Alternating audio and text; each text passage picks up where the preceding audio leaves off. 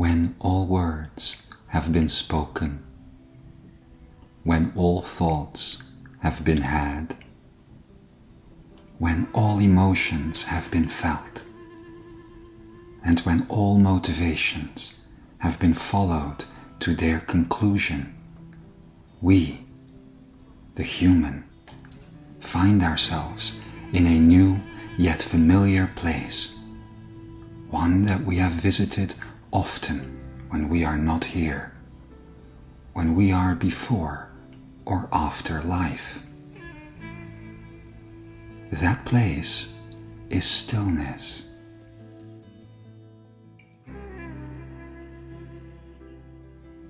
It is there where there is no creation, nothing created, and there where there is only the infinite, beloved, divine Creator.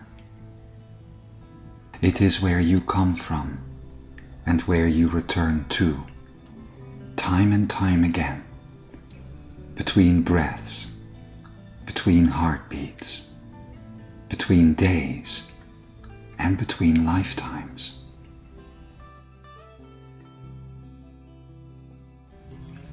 I say to you now, however, that we, the human being, are now at a collective point where this place of stillness is present here and now, at all times.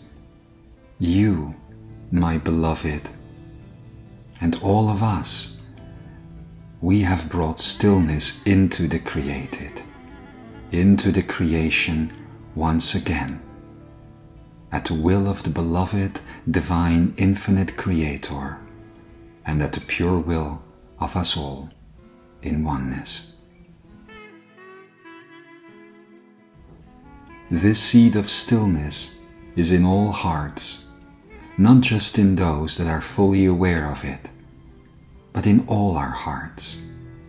And I can say with certainty that at this time no one is not aware of it. Even the most closed hearted have cracked open by now, their seed of stillness having awakened and now searching for and growing towards the light. We are now beyond the new age as it has often been called, as we are in this moment birthing, earthing, and grounding the seeds of stillness, which are the seeds of the new earth.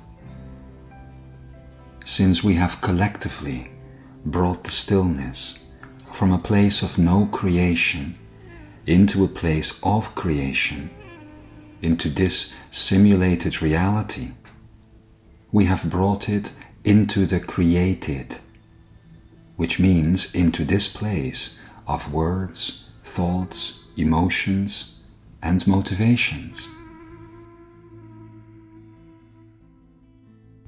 This allows for the seeds of stillness to arise in all of these things as well, renewing them in the now moment, birthing them into infinity beyond the place of geometry and offering a new fluidity to them in both their past and future states as well.